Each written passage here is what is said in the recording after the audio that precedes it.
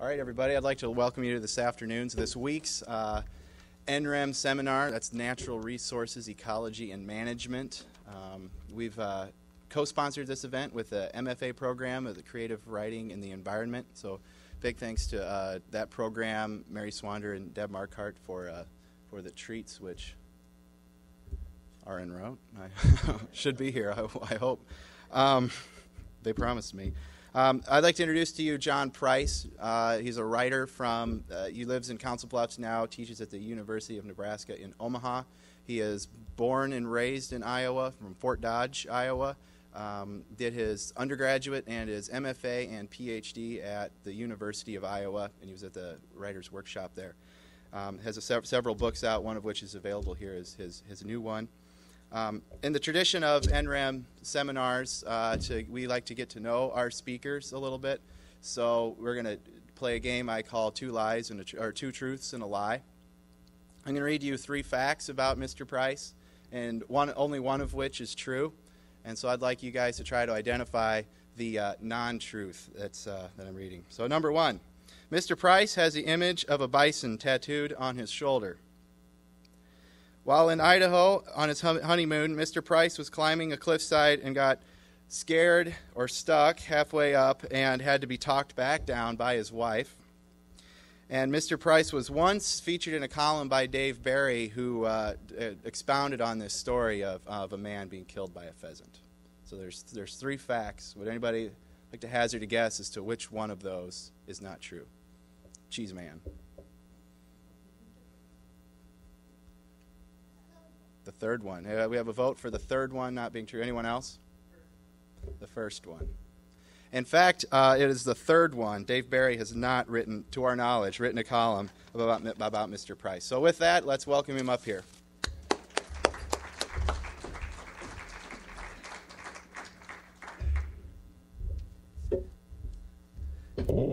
Thanks, Devin.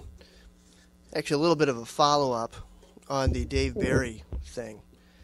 Um, he did write a column about someone almost getting killed by a wild bird, but it was about someone on that same stretch of highway, which I'm about to read about. Read uh, Highway 30 there outside of Cedar Rapids. Um, he was driving down the, the road in a pickup, and a wild turkey flew in his window. And he had his daughter in the car, and they flipped. Everyone was okay, ultimately, good, good thing. But he wrote a big column about this. Uh, person almost getting killed by a wild turkey. I felt kind of ripped off. You know, like my pheasant story wasn't somehow good enough for Dave Barry. It had to be a wild turkey. So, um, I want to thank Devin especially for, for hosting and getting this event going to, uh, today. Uh, this is the f- Friday before spring break, and I want to appreciate everyone showing up today for uh, for the reading. I also want to thank the Department of Natural Resources and uh, Resource Ecology and Management as well as the English department and the creative writing department and the committee on lectures. Thank you for, for making this possible. Also, I, I have a little bug today, so if, if you have trouble hearing me at all, let me let me know. So, um, this is actually my first official reading of from the book "Man Killed by Pheasant," and I'm I'm very pleased that it's that it's here at Iowa State for a couple of reasons. Uh, one, the, the dedication that Iowa State has towards interdisciplinarity. And the fact that this reading was sponsored by the humanities and by the sciences, I think, is evidence of that. Also, I was here for uh, a year as a visiting assistant professor back in the 90s, and uh, I became aware of the sort of interdisciplinary nature of, of this university then, too, as well. I was hired to teach technical writing and nonfiction writing, and I could handle the nonfiction writing well enough. Uh, that was my area of specialty. The technical writing was. Um, a little bit of a stretch. Uh, my technical knowledge was a bit limited back then, and I, for about three months, I was able to kind of fake it. Uh, and then the students were giving their uh, their presentations, and one student gave a, a talk on um, a factory, I believe in Iowa, that produces church pews. And so it left me in this kind of, a, I guess, in a religious frame of mind. And the second uh, presenter got up and she was going to talk about uh, wafer production at the University of Notre Dame. And I said, "Oh, wow, this is that'll be very exciting. I've always wondered where those communion wafers were made." and there was this dead silence in the classroom. And there, until this voice in the back said, Oh my God. And one student leaned forward and said, Dr. Price, they're talking about computer chip wafers. So the jig was up at that point. And I knew that I was going to have to get beyond uh, my safe zone as a writer and as a teacher to, to teach successfully here at Iowa State. And that interdisciplinary aspect, I think, has infected my work in a positive way ever since then. I'm also uh, happy to be reading here today because of a friendship I had with Kurt Moody. Some of you may know him or know his name here at Iowa State. He was a undergraduate here. I met him at the University of Iowa when he was at, in the writers program, the grad program there. Uh, we lived together in a boarding house, and I was an undergraduate at the time, and he was my first uh, writing friend, uh, someone who took writing seriously, not just as a vocation, but as a way of life. And uh, I don't think I would have been a writer without him. He uh, left Iowa to go to California to be a screenplay writer, and unfortunately, he was murdered out there during a, a botched attempt to steal his car. And I think there is now a scholarship in the creative writing program in, in his name. So um, I think he would he would be pleased that my first rating here was at Iowa State. We drove back every year for VEISHEA together and uh, that annual pilgrimage, and he was very proud about of being from this from this university. So I read today in, in his honor to some extent. So. Um, this is a memoir, and I think memoirs are about, in part, tracing the sources of our ethical lives, our values, the way we look at the world. In the situation of, in the case of this book, I'm looking at sort of tracing the sources of my relationship to place, to the natural world. And a lot of it is spent uh, in childhood, tracing those sources back to my earlier encounters with nature through pets, through uh, those smaller uh, places of wildness in my neighborhood and in my community. Um, but one event in particular uh, occurred later on when I was in grad school. Uh, and this was in the area of Belle Plaine, and it's the title piece from the book, Man Killed by Pheasant. I'll start off by reading this, and then I'll read a little bit from the ending. So I'm driving east on Highway 30 from our new home in Belle Plaine to Cedar Rapids, Iowa. It's a four lane, and because I'm an eldest child, I'm driving the speed limit, around 55, 60 miles an hour. I'm listening to Jimi Hendrix cry Mary, imagining as usual that I am Jimi Hendrix, when in the far distance I see some brown blobs hovering across the highway, one, then two. By the way they move, low, low and slow, I suspect they're young pheasants. As I near the place of they're crossing, I look over the empty passenger seat into the grassy ditch to see if I can spot the whole clan. Suddenly there is a peripheral darkness, the fast shadow of an eclipse, and something explodes against the side of my head in a fury of flapping and scratching and squawking. In an act of extraordinary timing, one of the straggling pheasants has flown in my driver's side window, and being the steel jawed action hero I am, I scream. I scream like a rabbit and strike at it frantically with my left arm, the car swerving, wings snapping, Hendrix wailing, feathers beating at my face until at last I knock the thing back out the window and onto the road. I regain control of the car, if not myself, and pull over to cry. That's the time I should have been killed by a pheasant. For reasons peculiar to that summer, I recall it often. It occurred, for one, while I was on my way to teach a technical writing course at a nearby community college, a summer job to help me through grad school. This distance learning experience took place exclusively by radio waves, with me in an empty room on campus and my 15 students scattered at sites within a 100 mile radius. The technology was such that my students could see me, but I couldn't see them. To converse, we had to push buttons at the base of our microphones so that each class felt like an episode of Larry King Live. Judy from Monticello, hello, you're on the air. The future of higher education, my supervisor called it. And I never did get the hang of the camera. I'd turn it on at the beginning of class, and there on the big screen monitor would be a super close up of my lips.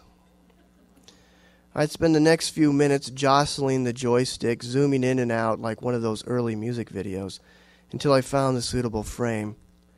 Sometimes my students would laugh at this, and I'd hear them laughing, but only if they pushed their buttons. If there was an electrical storm nearby, I wouldn't hear them at all.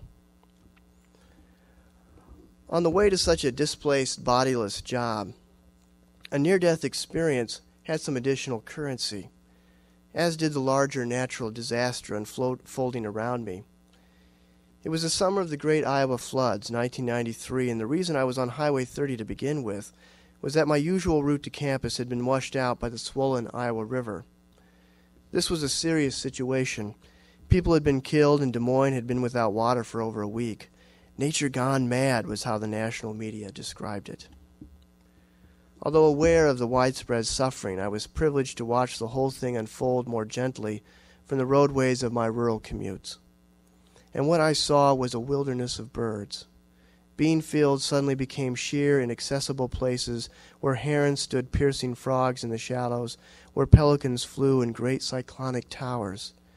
Perched on soggy, neglected fence posts were birds I hadn't seen since early childhood bobolinks and bluebirds and tanagers. Their color and song drew my eye closer to the earth, to the ragged ditches full of forgotten wildflowers and grasses, safe at last, at least for a while, from the mower's blade. The domesticated landscape of my home had gone wild, and I was mesmerized by it. Toward the end of the summer flooding, when the dramatic presence of wild birds dwindled, I thought a lot about Noah, about those end days on the ark between the release of the raven and the return of the dove, between knowledge of a decimated landscape and faith in one that, through decimation, had become reborn. When it was all over, I thought I understood Noah's first impulse once on dry land to get drunk and forget. I'd lived my entire life in Iowa, the most ecologically altered state in the Union, with less than one tenth of 1% of its native habitats remaining.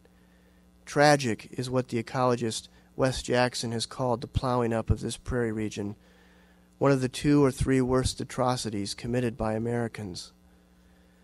Not that I'd ever cared. It's hard to care about a wild place you've never seen or known. Yet in those short flooded months of 1993, I witnessed a blurry reflection of what the land had once been a rich ecology of wetlands and savannas and prairies, alive with movement and migration, alive with power. Under its influence, I felt closer to my home landscape than ever before. So when that power slipped from view, I was surprised to find myself longing to chase after it. Having spent most of my life wanting to the, leave the Midwest, where might I find the reasons to stay, to commit? Death by pheasant didn't immediately come to mind. Although in the wake of the floods, death was part of what I longed for, or rather the possibility of a certain kind of death, the kind in which you become lost in a vast landscape and die, as Edward Abbey has described it, alone, on rock under sun, at the brink of the unknown, like a wolf, like a great bird.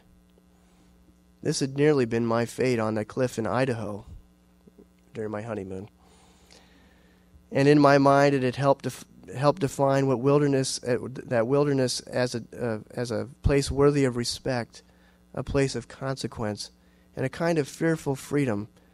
My German friend Elmar calls this freedom Vogelfrei, which loosely translates into free as a bird. Far from the positive spin we've put on this phrase, Vogelfrei refers to the state of being cast out from the tribe, so free you'll die in the open unburied to be picked apart by birds. It's a state of fear and vulnerability and movement, one that might especially, here in the agricultural Midwest, a place seemingly without fang or claw or talon, make us more attentive to the natural world, more humbled by its power to transform us. At first flush, my collision with the pheasant didn't seem to hold that kind of possibility, but it could have. If, for example, this had happened to me as a child or adolescent, or as a member of a New Age men's group, I might have made something more of it. When I was a boy, some of my favorite comic book characters were mutations of man and animal Mole Man and Spider Man and Captain American's ally, the Falcon. Imagine the comic book story that could have developed this time. A mild mannered English professor is struck in the head by a wayward pheasant, his blood mingling with the birds, while coincidentally a cosmic tsunami from a distant stellar explosion soaks the whole scene in gamma radiation. Emerging from the smoldering rubble, Pheasant Man. No, Super Pheasant Man. As Super Pheasant Man, our mild mannered professor finds he has acquired the bird's more powerful features, learning to use its pride and daring, its resilience, its colorful head feathers, learning to use them for the good of humanity while at the same time fighting the darker side of his condition, namely, a propensity for polygamy and loose stools. But I was not a boy when I met that unlucky pheasant on Highway 30, which is too bad because for a long time afterward I found nothing particularly uplifting about the experience. Instead, I saw my life and death made a joke. Imagine the regional headlines Man killed by pheasant, mother files for hunting license. Imagine the funeral where, in the middle of I'll Fly Away, one of my more successful cousins whispers to his wife, You know, it wasn't even a cock pheasant that killed him, it was just a little baby pheasant.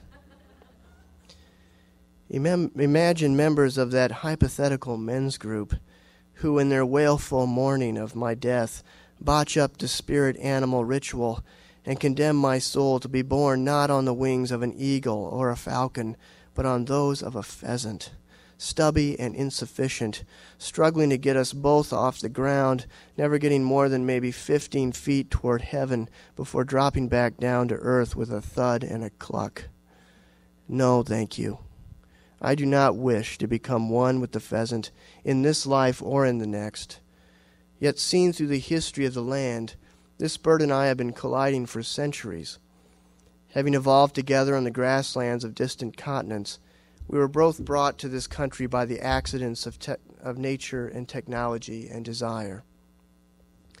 As Americans, the pheasant and I have come to share certain important historical figures, like Benjamin Franklin, whose son in law was one of the first to attempt to introduce the ringneck pheasant, a native of China, to this country, an unsuccessful release in New Jersey.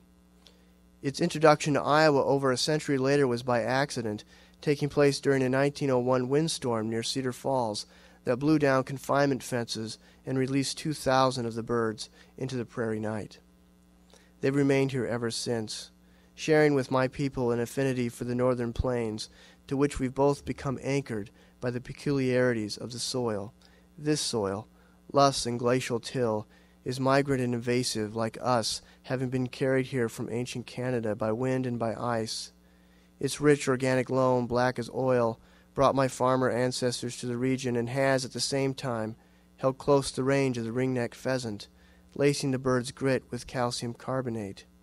Because the ringneck neck requires an abundance of this mineral, it doesn't stray far, not even a few hundred miles south into the gray prairies of, say, lower Illinois. So the pheasant and I have remained settlers in this region, watching as others of our kind move on. As such, as we have we have come to share some of the same enemies, like the fence row to fence row, get big or get out agricultural policies of the 1970s and 80s. These policies enacting yet another vision of migration dramatically expanded agricultural exports and at the same time led the region to the farm crisis of the 1980s, to the flight and impoverishment and death of thousands of industrial and farm families. For the pheasant as well, despite set aside programs, this fence row to fence row world has held its own kind of impoverishment, a destruction of habitats so thorough that 200 pheasants have been known to crowd a shelter belt only a 100 yard, yards long. In such a bare, naked world, a good blizzard like the one in 1975 has the power to wipe out 80% of a local pheasant population in a single evening. Yet in sharing enemies, we have also been together the common enemy. To the prairie chicken, for instance, one of the many native citizen, citizens that had the unfortunate luck to precede us here in the heartland. For almost a century, European settlers hunted and plowed down prairie chicken populations in Iowa, but the ring necked pheasant also played a role, destroying the prairie chicken's eggs, occupying its nests, and interrupting, seemingly out of spite, its dancing ground rituals. Some argue that restoring prairie chicken populations will have to coincide with significant reductions in prairie populations. Reducing pheasant numbers around here, however, is about as easy and popular as reducing our own. The difficulties, in part, are economic. In Iowa, we hunt and eat this bird to the tune of about a million and a half a year. It's one of our biggest tourist attractions. But I wonder, too, if we don't see in this bird, at some unconscious level, a dark reflection of our own troubling history in the American grasslands, our role as ecological party crashers, as culture wreckers, our role ultimately as killers and thieves. To question the pheasant's claim on the land is in some way to question our own. It's unfair, of course, and dangerous to project our sins onto another species. When tossing around ethical responsibility, the difference between us between instinct and intent is significant, but the pheasants needn't worry about taking the blame. Hardly anyone around here gives them a second thought. That indifference was part of my problem when I finally began searching while living in Belle Plaine for reasons to care about my home landscape.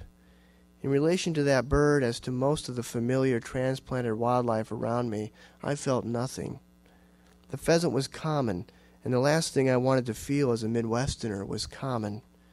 Since early adolescence, I'd been fleeing a sense of inadequacy shared by many in this region, a sense of self marked, as Minnesotan Patricia Hampl has said, by an indelible brand of innocence, which is to be marked by an absence, a vacancy, by nothing at all. For Midwesterners like me, the complex, the worthy, seemed always to be found elsewhere, not here in this ordinary place, this ordinary life.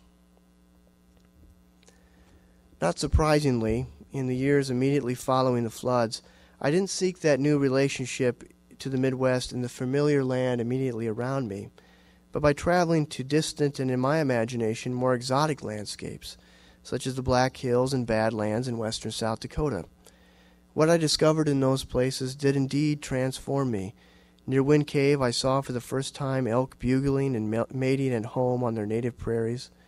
While sitting in a fly plagued prairie dog town, I saw for the first time a bison bull wallowing in the brown dust. On the grasslands near Bear Butte, where Crazy Horse once sought vision, I saw for the first time a falcon stoop to kill a duck, the native cycles of predator and prey, of wild death still lingering. Even Vogelfrei, that fearful freedom. I felt it for the first time in this region while walking lost in the deep earth of the Badlands. My journey through these places toward commitment has been awkward, fragmented, and at times pathetic, even comic. Yet the significance of those experiences cannot be underestimated. How they have worked to cure a lifetime of ignorance and indifference. How, to use spiritual terms, they have filled what once was empty. But if the spiritual journey to place to a place begins, as some claim, with mortal fear, then it was not the bison or the falcon or the badlands that first drew me closer to the region in which I had been raised. It was the pheasant, that particular baby pheasant, there on a highway in eastern Iowa, which almost, as my sister Allison would say, rocked my world. In a sense, that's exactly what it did. It made me wake up, become more observant of what's lurking in the margins, and what's lurking there, despite the rumors is the possibility of surprise, of accident, of death. And if it's possible in this overdetermined landscape for a pheasant to kill a man, then why not also the possibility of restoration, renewal, and at last hope? That's a romantic stretch, I know, and at the time of the incident itself, I didn't feel particularly worshipful of its surprise. As I sat in the car wiping my face, I just felt lucky Thank God it wasn't a two lane. And then ridiculous. The whole thing was so absurd it might have been a dream. I carefully leaned my head out the window to see if the pheasant was still on the road. It wasn't. I thought about going back to see if it was injured, but decided against it. After all, it was only a pheasant. Besides, I was late for work, where in a few minutes I would be taking my own precarious flight through the airwaves, across the flooded land, to students I would never see, never truly know. I started the car and eased back onto the highway. As I approached cruising speed, I saw something move out of the corner of my eye. I jerked, swerved the car a little. A feather. An ordinary brown feather. Then another and another. There must have been a dozen, floating in the breeze of the open window. They tickled and annoyed me. Yet, for reasons I still can't explain, I kept the window open, just a crack, enough to keep the feathers dancing about the cabin. And that's how I, the man almost killed by a pheasant, drove the rest of those miles, touched by its feathers in flight, touched by an intimacy as rare and welcome in my tragic country as laughter in a storm.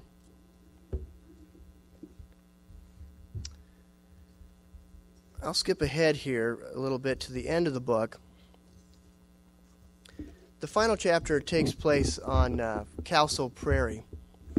And some of you may be familiar with this. Uh, it's a 160 acre preserve uh, near, near Fort Dodge. And, uh, well, it's closer to Manson, Iowa. But uh, it's one of those places that I, it was one of those treasures that was so close to home that I didn't know about and didn't appreciate growing up. I had read about it in the works of John Madson, and some of you may be familiar with, with his work. Uh, uh, he's one of my inspirations. He's an Iowan. Wrote, about Kalsow Prairie as one of his place, favorite places to go. I uh, visited there for the first time this last summer. I took my two kids with me and my wife Stephanie. Uh, my sons were uh, at the time six and four years old, and I wanted to foster in them uh, a connection to the prairie uh, early on in their lives.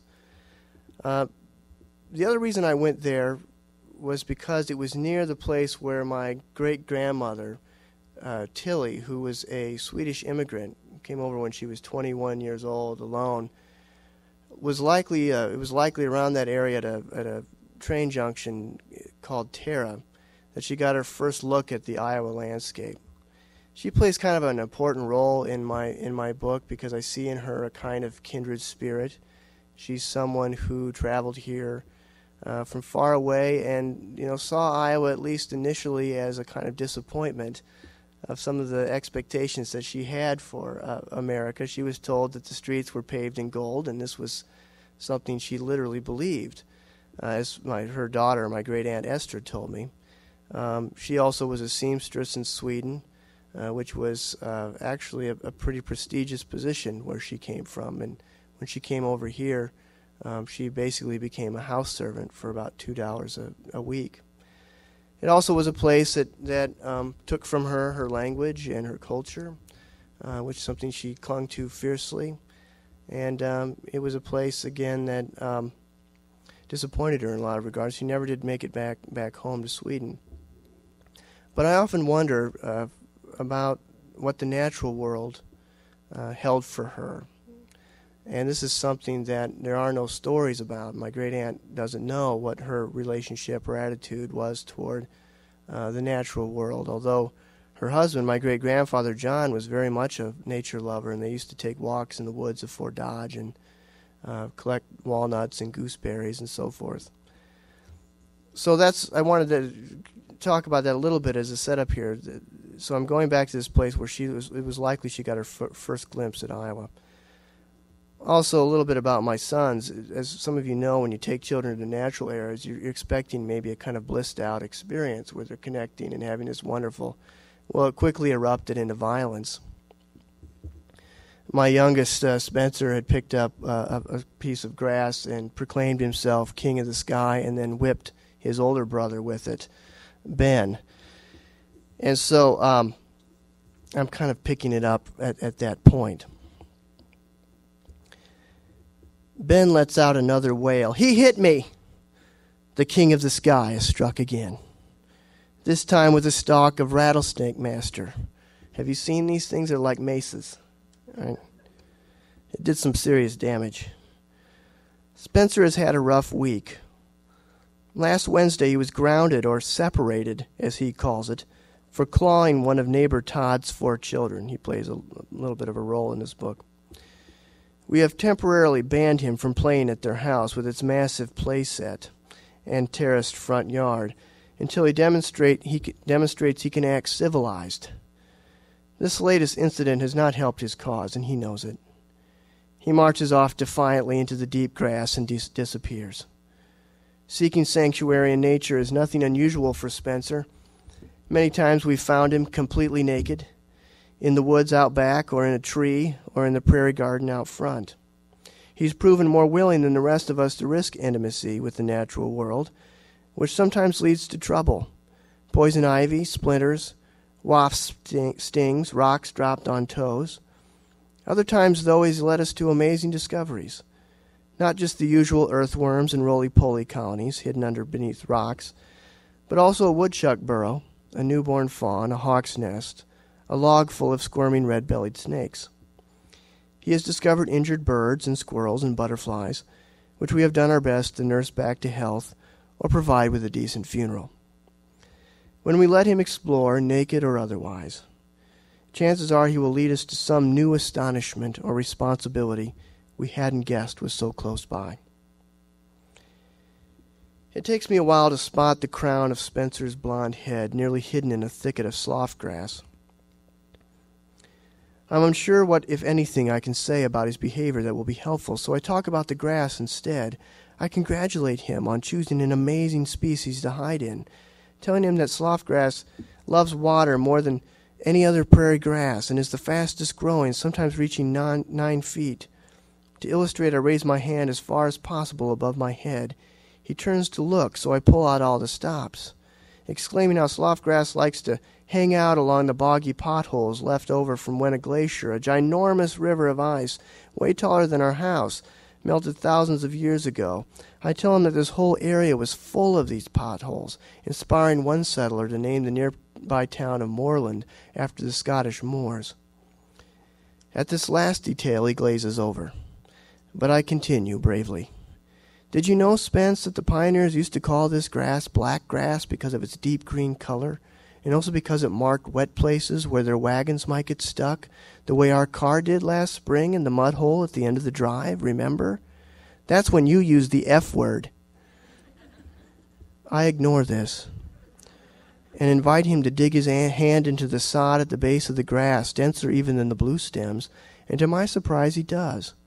I tell him that the pioneers thought it was the best thing for building sod houses, and that many prairie Indians thought the leaves were the best thing for thatching the roofs on their lodges to keep the rain and snow from falling on their heads. I tell him that this place where the glacier melted, where the slough grass grows, where his ancestors settled, where his father was raised, is the youngest of all kinds of land in Iowa, and as he is just as he is the youngest in our family, and is the best place to grow things. The best place to grow up? he asks. I pause to consider the question. Ah! That's a very bad imitation of my son's scream, I'm sorry. Spencer charges out of the thicket, crying and holding his hand. The grass cut me! The grass cut me and it's bleeding! Steph and Ben run over and we examine the wound, a fine cut at the base of the thumb. Nothing major, but a bleeder nonetheless. Don't touch it! Spencer screams. I tell Steph that I forgot to warn him the, about the serrated edges of the slough grass, the reason the farmers call it rip gut. How could you forget that? Ben chimes in, apparently forgetting the fresh welts on his back. He's little and he doesn't know any better. Yeah, I'm little, Spencer sobs, and you should have told me. It's your fault, and you need to get separated. Now, now, Spence, I say, trying to redeem the situation, look at it this way. You've become blood brothers with the prairie. I don't want to be blood brothers with the prairie. I just want it to stop hurting, and I want you to get separated. Steph gives me a sympathetic look that also suggests that I should wander off for a moment while she calms Spencer down. So that's exactly what I do. As I walk, I spot several familiar grasses and flowers from that first flooded summer in Belle Plaine. I notice, noticed many of them during the drive here as well, along the roadsides on the outskirts of Fort Dodge, which were lush and beautiful.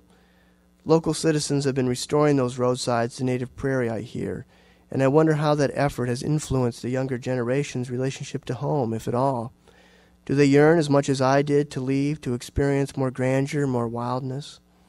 I feel it even now on this prairie, which is nothing close to some of the others I've seen, with their thousands of acres of native grass teeming with wildlife.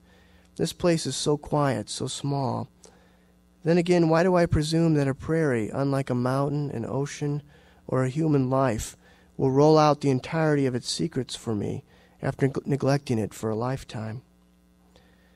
I, work I walk farther into deeper grass, and here's something a soft, rhythmic clucking.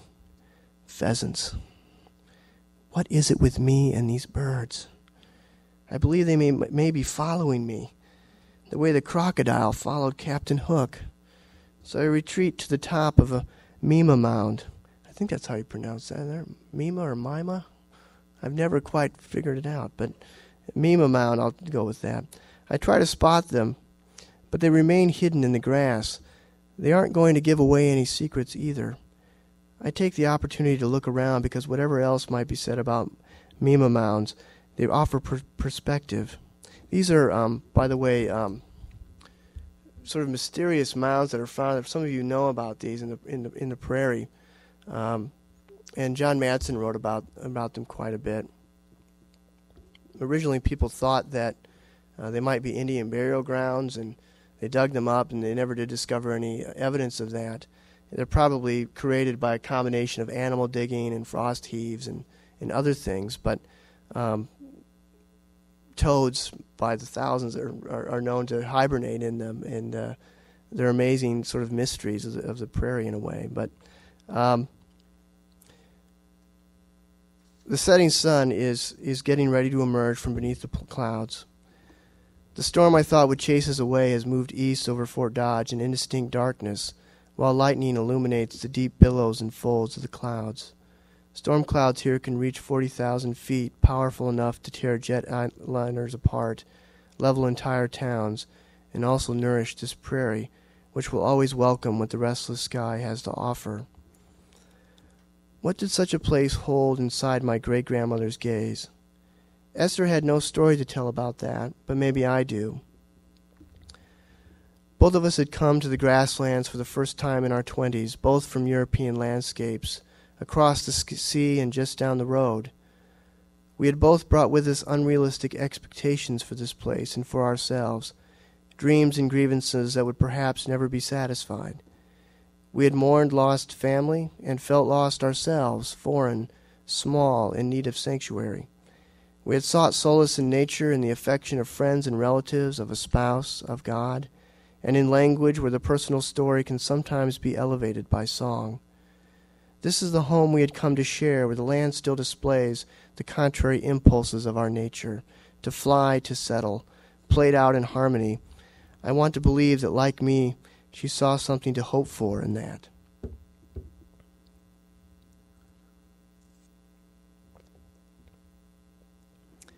When the sun finally emerges, the prairie erupts in bright colors, diverse textures, shadows, and depths. Steph and the boys have noticed it too. Ben is, has his arm around Spencer's shoulder. They are looking out at a place transformed. What do they think of what has been given to them here? Will they consider the conditions of their upbringing to be limited as I once did? I hope that the stories of those who have come before, the stories of the land itself, will give them some courage, or at least make them feel less alone. I hope that wherever they live, they will some day be able to sing with confidence the old psalm my boundaries enclose a pleasant land. Indeed, I have a goodly heritage. Something explodes out of the grass, and I stumble back onto the ground. It's the pheasants, a half dozen of them, including a large, audaciously painted male. They fly over the heads of Stephanie and Ben, who point at them and shout.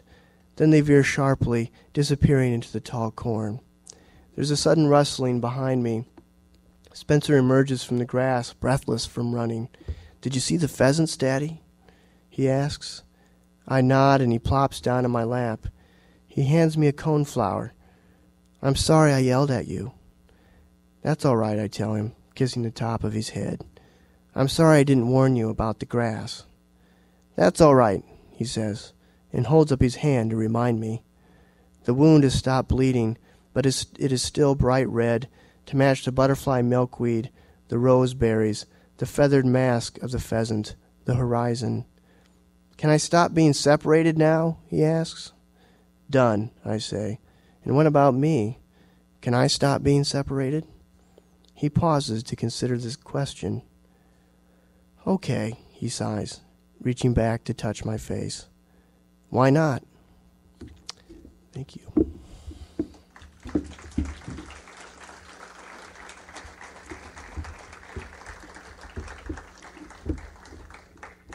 I'm happy to uh, respond to any questions that folks might have and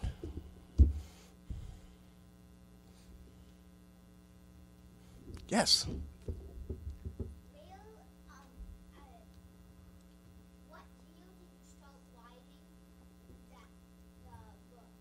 that's a great question thank you you have a lot more courage than well um, you know, I think I'd like I'd like to say it started when I was a child. A lot of writers say that, right? Where they uh, compulsively they, they sort of knew they were a writer coming out of the womb. Well, I started writing in college. Actually, when I was in class with your mother, in graduate school, um, I began to, to be a serious writer. Um, writing wasn't necessarily something that I took to early on as a child and as an adolescent. Although um, I had uh, you know wonderful parents who are here t- t- today who you know surrounded me with books and I, I, appreciated great literature and learned to appreciate it through them and but writing really didn't seem like an option for me. But then I took a class a couple of nonfiction classes at the University of Iowa and fell in love with it and so this actually this the writing for this book started about um, well I guess it would be what now 12 years ago 13 years ago and I wrote one of my first essays, and it was about being a nursing assistant in a hospital for um, children with dis- uh, developmental disabilities. That essay's in here, uh, and I think that was sort of the beginning. And so that would have been back in what 19, I think about 89 or or 90. I started to to write. So this book has been long and in developing over time. So I started writing in college. Thank you. Yeah.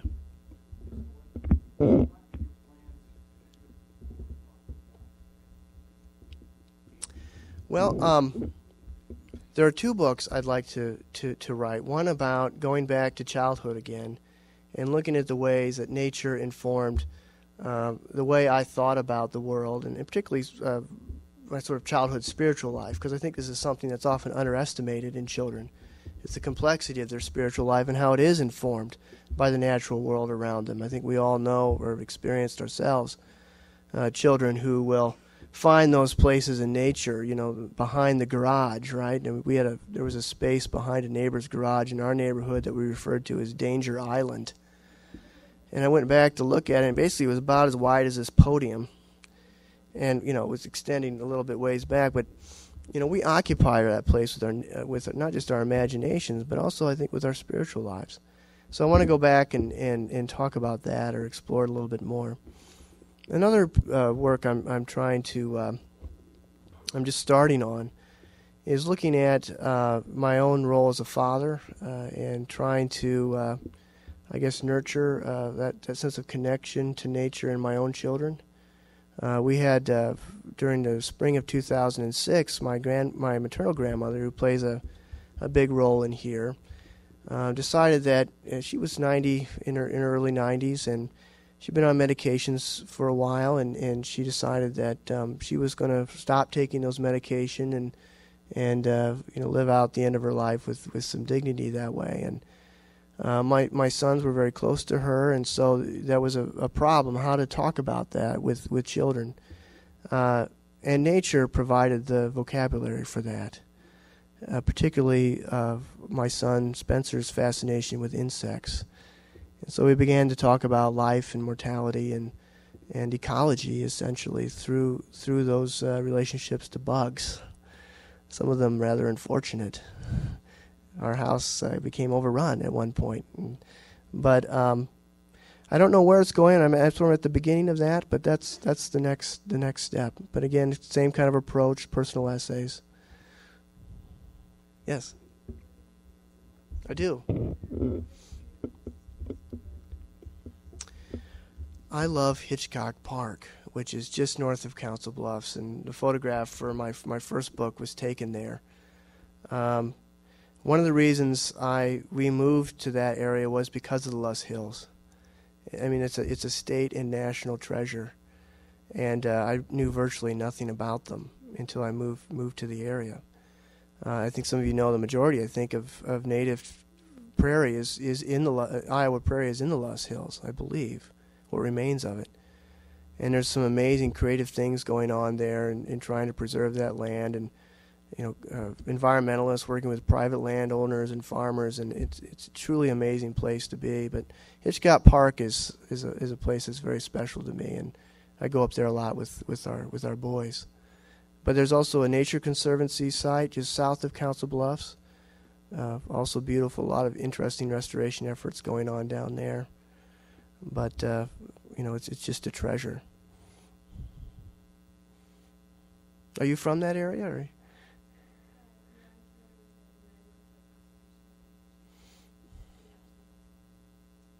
Oh, great, great, great. it's like I got that right. Good. Was it really? Oh my gosh. Well, I know with the Nature Conservancy site south of there, such an interesting story. When they bought that that property, they had already agreed to sell one of those hills. And as you know, these are like 200 foot high hills uh, for landfill to a soybean factory and they um, now to the credit of the soybean factory, they they gave the Nature Conservancy a choice. They, they could say you could choose which hill we take.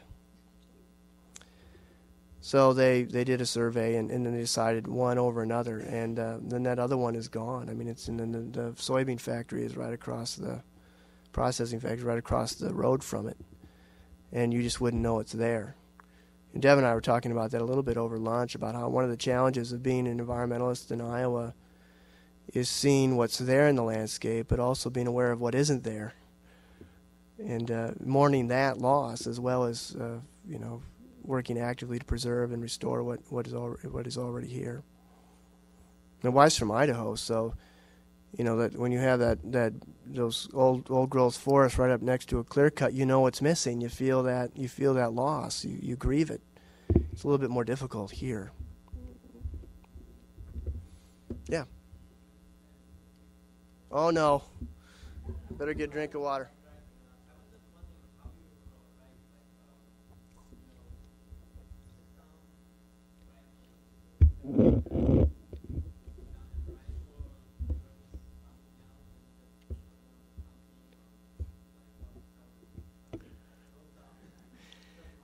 Well, the pheasant incident seemed like one that might lend itself well to an essay. I wasn't sure what kind of essay, but um, I, I, am not one of those writers, I, and I always admire those who talk about how they write every day. You know, they're up at the crack of dawn, you know, and every day they put in, you know, I just, my life doesn't lend itself well to that. And I think that's true for the majority of writers.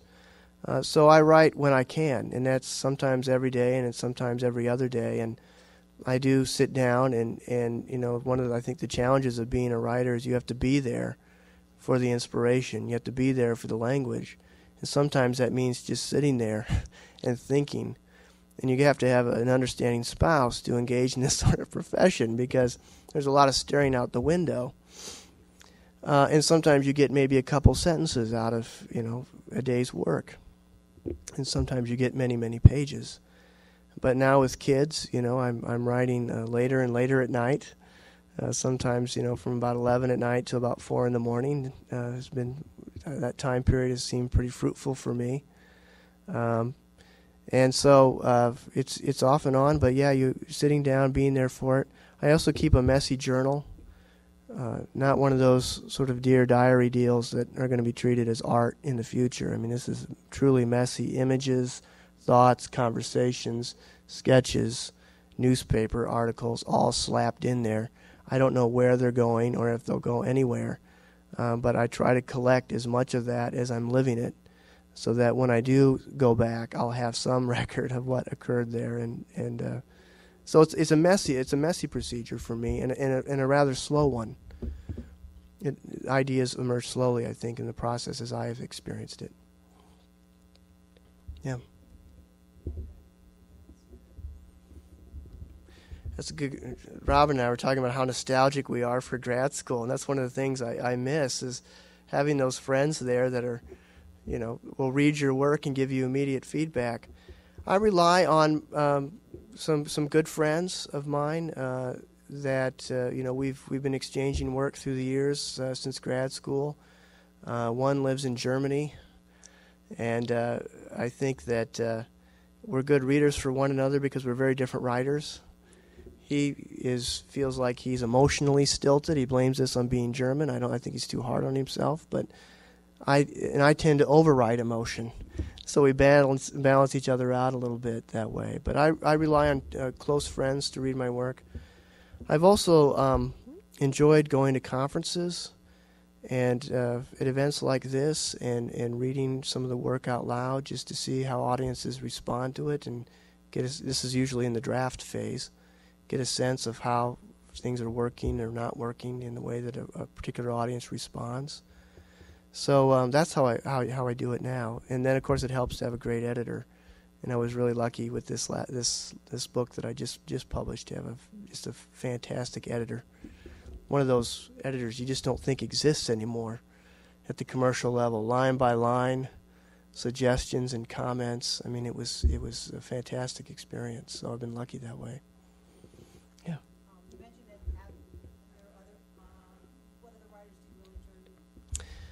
Um, you know, it's interesting. I, early on, I was I was really attracted to Ed, Edward Abbey, uh, Thoreau, um, uh, Annie Dillard. Uh, also, later on, Great Plains writers as well, like uh, Mary Swander and, and uh, uh, William Least Moon and those folks. But now that I'm sort of writing for this book, I was writing out of in the midst of uh, being a parent and, and, and, family life, and I didn't have the luxury of sort of traveling out there in the landscape for long periods of time that I used to have. So I've been drawn more to people who aren't necessarily thought of as nature writers, people like uh, E.B. White, who wrote about you know nature on that saltwater farm in Maine that, that he lived on um, but did so in the context of his personal life, or taking his young son back, son back to that lake and connect, reconnecting to it. Or um, James Herriot, All Creatures Great and Small, has been someone who I've been reading quite a bit of lately. Uh, and also Gerald, Gerald, Gerard Durrell, My Family and Other Animals. Anyone familiar with this book? He's a. Do you know what I'm?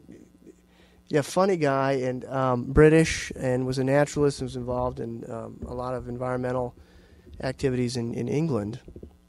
But again, writes about his love of insects as a boy in the context of his very peculiar family. So I've been gravitating more to those folks who are writing about nature within the context of community and family. Yeah.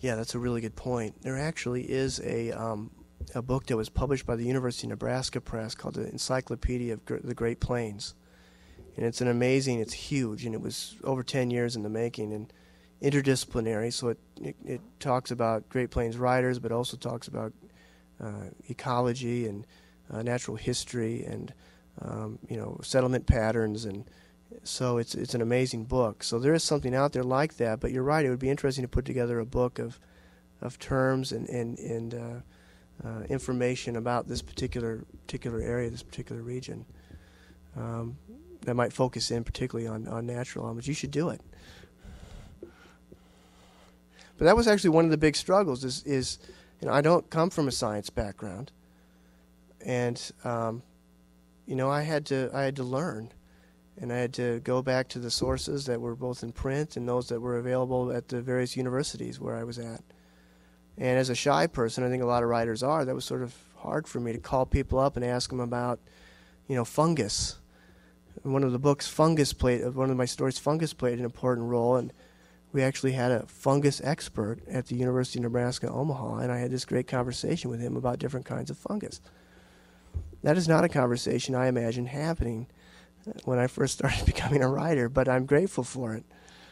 Um, but it's a constant education uh, process in educating and re-educating myself, and I always feel like I'm falling short, and uh, there's always more to learn. I wanted to mention too a writer you might uh, a nature writer I've been reading, David Gessner. Have you heard of him? He's a Eastern uh, writer, but um, contemporary writer. It's G E S S N E R.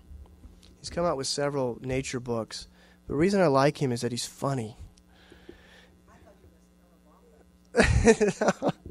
well, I, I, appreciate him because, like I appreciate Ed Abbey because, you know, there's not a lot of humor. I think sometimes in environmental and nature writing, and I think that's unfortunate. I mean, it's understandable. There's sometimes it's not, uh, you know, easy to uh, uh, laugh in the midst of, of, you know what's going on in the environmental world right now. But I think writers like David Gessner and Ed, Ed Abbey, and you know what I'm trying to attempt in my work, um, using humor you know, it's about not you know, humor is uh, the kind of humor they practice wasn't about feeling superior uh, and making fun of something else from that place of superior, but of superiority, but feelings of of humility and smallness, and I think that's what self-deprecating humor can remind us of, and it provides some hope if you can take that that sort of tragic element that is present in the environment today and transform it into laughter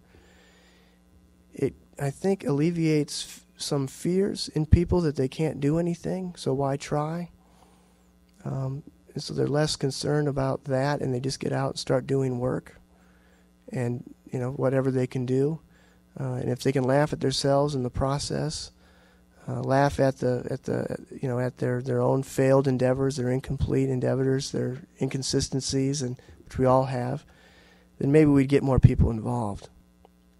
So David Gessner would be another writer I, I deeply admire.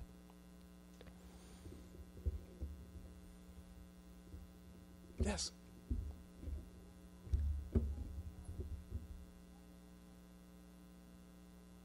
I'm sorry.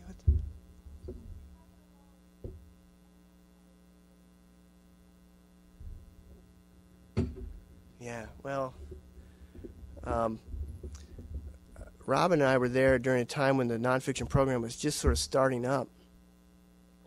The Writers Workshop, I actually didn't get my MFA in the Writers Workshop. I got in the nonfiction writers writing program, um, which is housed in the English department. Because the Writers Workshop didn't offer any courses in, in nonfiction, only poetry and fiction. And as E.B. White said, the nonfiction writer is always the second class citizen. It's, it seems sort of true there.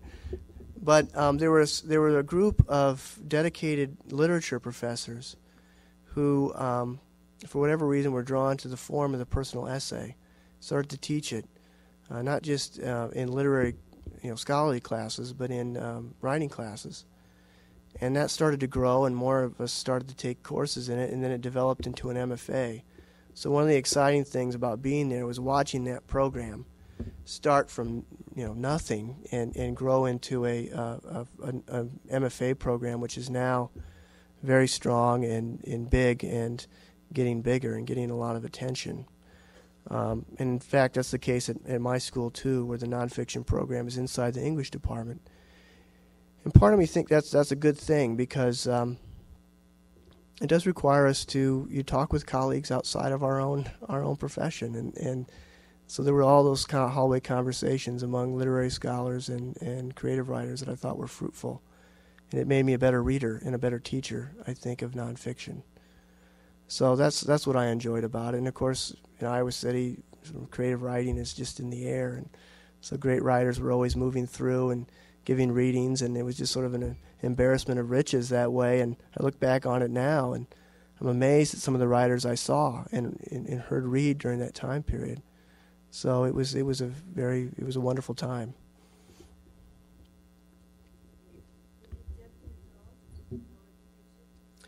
You know, I I think everyone is.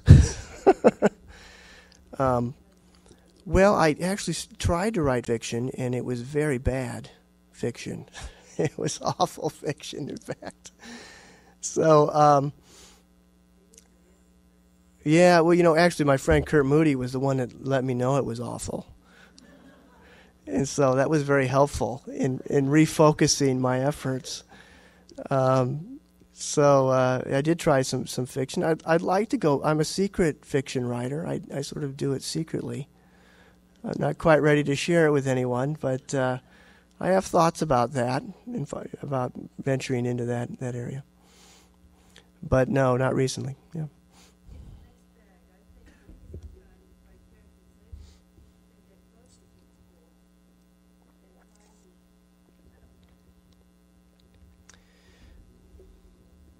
Oh yeah, I mean, I, I, read a lot of fiction and I learn a lot. Of, I mean, nonfiction writers, as you know, in creative nonfiction, they read very much like novels. Some of these memoirs with dialogue and character development and plot and all those things. So reading fiction, I think, is essential for any any writer um, of nonfiction um, in in improving their work.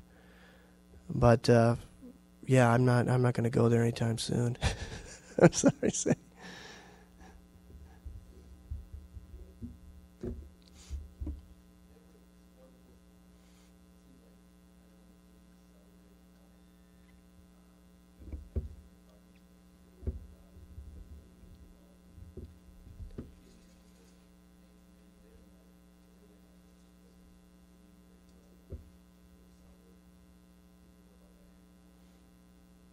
Right.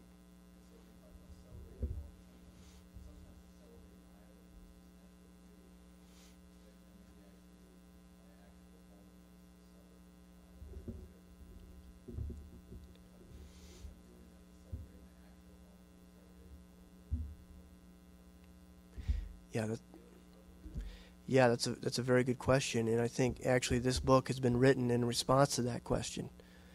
I mean, the first book was about traveling out again and seeking beauty elsewhere, pretty much. I mean, it comes back around to Iowa, and I do some prairie restoration work at the end of it. Um, but at that point, it wasn't at all clear I was going to live there long term.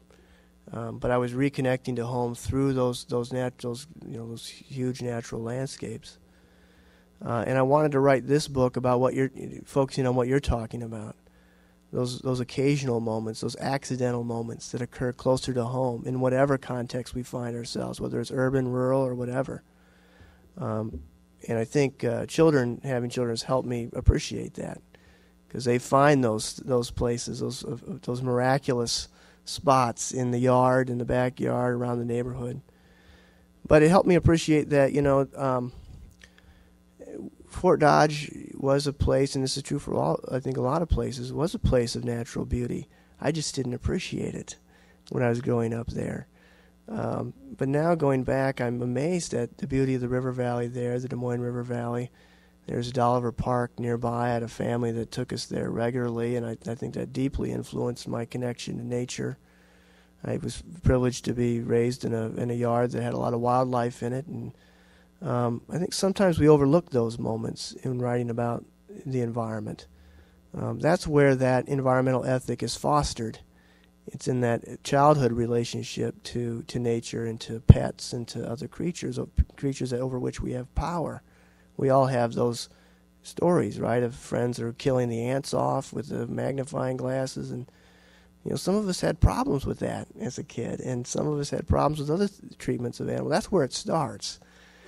And so I wanted to write this book out of that, those senses, those kinships that are closer to home in the immediate environment, more accidental and unexpected, uh, wherever we live.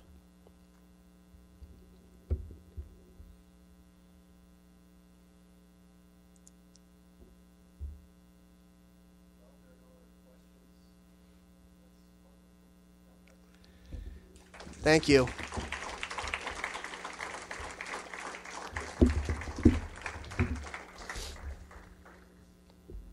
I'm going to hang around over here. I'd be happy to sign any books if if folks want them.